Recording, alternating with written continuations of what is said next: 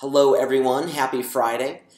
Last week, it was about last week, uh, Justin Bieber hit the news again. So he's on this tour, which I kind of call the I'm Sorry tour. Um, it's really called, I think, Purpose, but one of the, his flagship songs is this Sorry, which, uh, if you listen to the lyrics, it's probably about Selena Gomez, which is one of his ex girlfriends. Uh, but it's also, in, and I think Justin has even said this in interviews. It's it's also an apology to many of his fans because he's he's been kind of a dick in, in in the public spotlight over the years. He's you know he's been caught kind of uh, racing a Lamborghini in a neighborhood full of children. He's uh, he's even was spitting on fans from a balcony, and so. Um, but, but this video that went viral last week is a video of him throwing a gift back at a fan. Just this really rude gesture.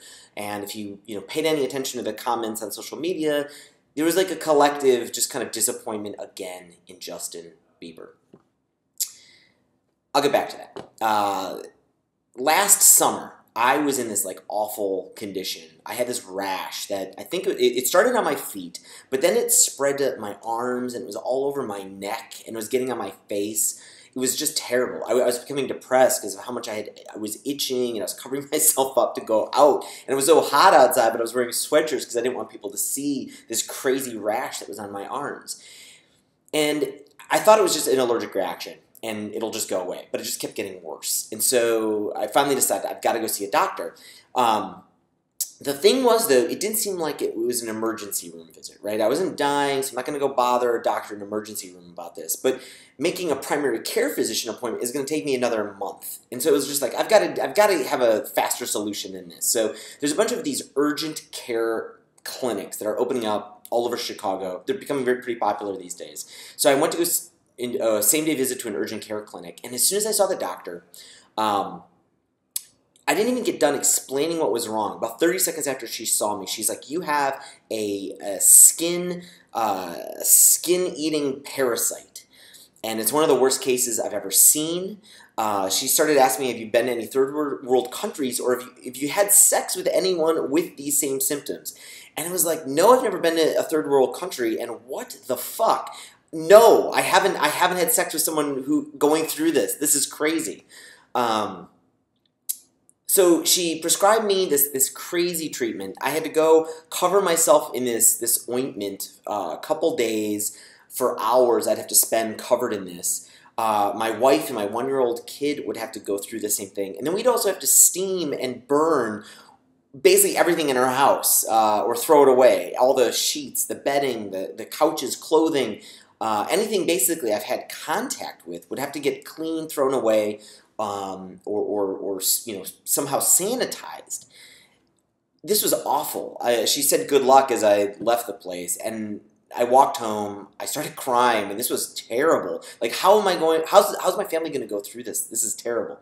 Um, I decided like to go through this hell, we better have a second opinion. And so I tracked down a dermatologist. I had to drive a couple hours to go see this dermatologist who could could see me the next day. And she took one look at me and she's like, "Oh man, this is this is really bad, but we will have you fixed up really soon."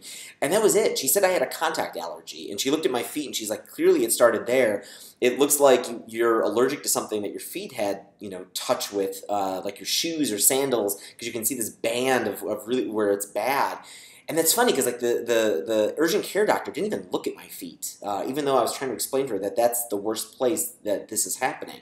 But the the the dermatologist gave me a prescription for some antihistamines and some steroidal cream, and I was in 72 hours I was 100% better. It was gone. We had just saved ourselves a ton of misery uh, and pain by just going to this dermatologist. So, but it also made me think like, why was the dermatologist so wrong? In uh, in 1986, there was a there was a guy named Terry Mullen uh, who noticed that there he came into contact with. He was reading about something called the uh, the what is it? I've already the Baader Meinhof gang. It's this really obscure terrorist organization from West Germany. Very bad group of people, uh, but most people haven't heard of this gang, this this terrorist gang. And he had read about them, and then very soon later, in very random other reading, that name cropped up again. Bane Baader Meinhof. And so he, it made him think like that's odd. That's a very odd coincidence. And he gave it this name, the the Baader-Meinhof phenomenon. Well, it's most commonly known in, in maybe the scientific psychological community of, as a frequency illusion. You see something, and then because you're now interested in it, you keep seeing it over and over and over again. For example, Schadenfreude is now a, a word that somehow I've seen and it became kind of more interested in recently. So now I see it everywhere. It was in an article in the Wall Street Journal uh, a couple days ago. I saw it yesterday again in some random tweet.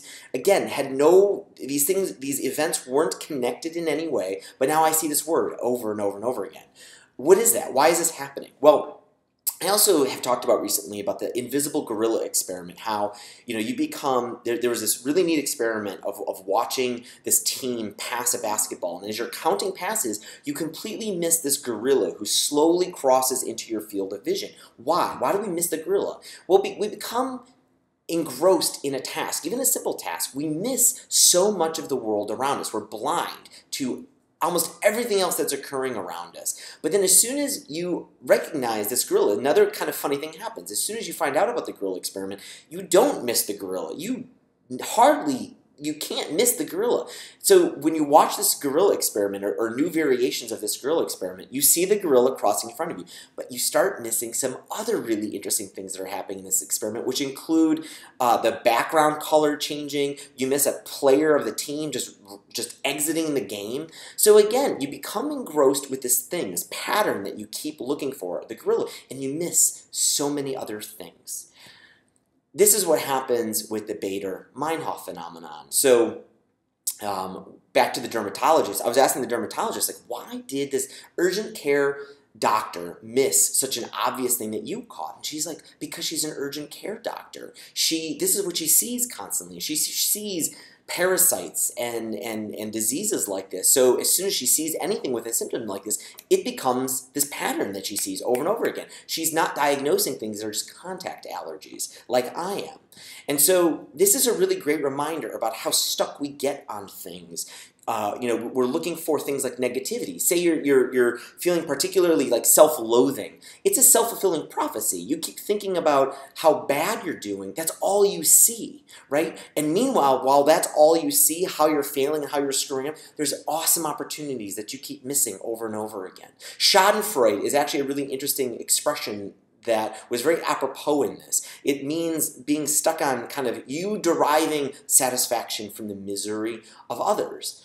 And that's interesting, right? Because I think a lot of people are stuck on Schadenfreude. You're stuck watching for the misery of others. Meanwhile, what are all the awesome opportunities and things that are just passing you by? If you go back to the Justin Bieber video, I, I, I encourage you to, to watch it. I'll, I'll drop a link in, in the video, um, but go ahead and watch it again. Turn the sound up. Watch very carefully Justin Bieber's mouth as this video is progressing, and you'll see what he says. He says something like, why did you throw that at the person who we thought he was throwing his gift back, the person, it wasn't a gift, it was something she wanted autographed, and she threw it at his face. I think a lot of us would react very similarly. If someone threw something at our face, we would probably throw it right back at them. So it's a very, again, just uh, very interesting situation where we missed it the first time because I think we have a pattern that we're watching for, you know, with, with folks like Justin Bieber, that we miss really what exactly happened in that video. Thanks again for watching another video. We are almost halfway to 200 subscribers, and then we can start improving the lighting and the camera. Um, so please tell your friends about this channel, and please subscribe, and I will see you again soon. Have an awesome weekend.